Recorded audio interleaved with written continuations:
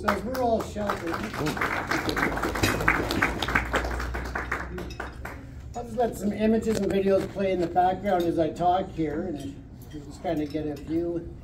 Now, some of the videos you'll notice are a bit shaky. Some of them uh, that are on this presentation, um, I made sure that uh, they were all appropriate for luncheon.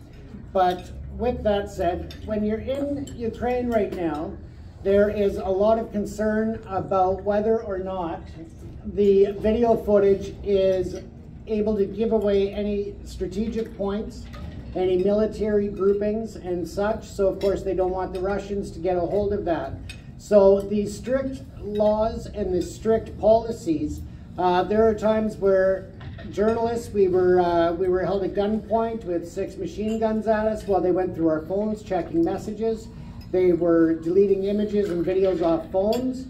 And it's all about uh, keeping the soldiers, all of them safe and strategic installations.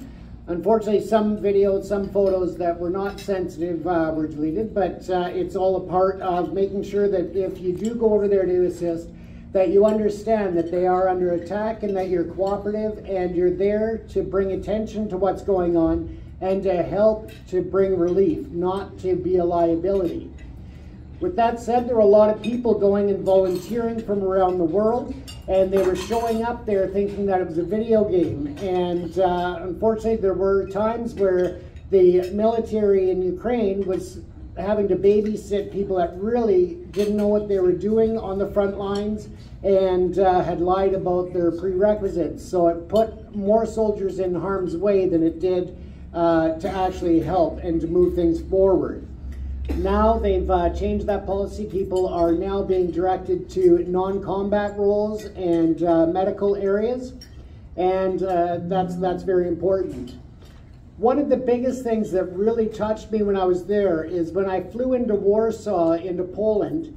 Uh, I had a week there where I drove around to the different uh, refugee welcoming centers and assisted with different NGOs uh, in addition to documenting it, uh, getting, you know, rolling up my sleeves, getting in there to unload trucks to help with anything that was needed, shuttling, uh, shuttling people back and forth from the border to the reception centers.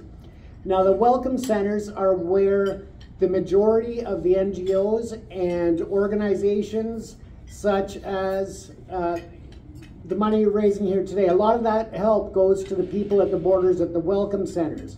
People were coming in 24 hours a day. They were walking through uh, minus 10 degree weather for days at a time, toting little children, pets, and uh, just freezing. There were uh, one gentleman that had a heart attack in between the border patrol station and the gates into Poland. There are just amazing amount of doctors, veterinarians, uh, you know, and just everyday volunteers feeding them, clothing them, uh, just all the essentials, baby formula, diapers and such. So the world coming together, such as this event may seem small, but it's huge in terms of the impact that it can have on the people in Ukraine. Here you can see this tunnel here. Oh, battery's running low, that's okay. Uh, this is one of the tunnels under the streets, so it's just like a pedestrian walkway under the main intersections. But this had over a thousand people at one point hiding uh, in there at night and sleeping there to avoid any airstrikes. So it gives you an idea as to how small the space is and how desperate it, it is at times there. I was there when the bombing was active. Uh, at all times of day and night, you would hear the air raid sirens going off. You'd wake up in the middle of the night and you look out the hotel window. The city's dark and you just look for any glowing coming through the sky at your location. So with that, you don't know what's going to happen next.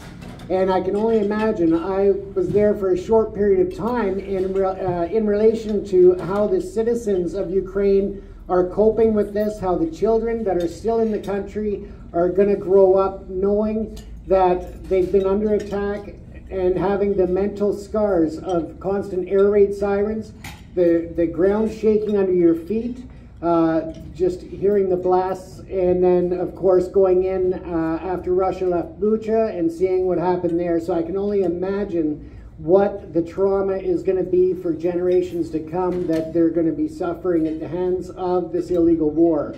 So once again, I thank everyone for coming out. The need there is great, and uh, it's not just about coming out to events like this, but also just making sure that when you're sharing information online, that you're sharing it from reputable sources. There are images out there of an oil fire or an oil refinery fire, and if you look close at some of those images, it was actually the Edmonton Fire Department.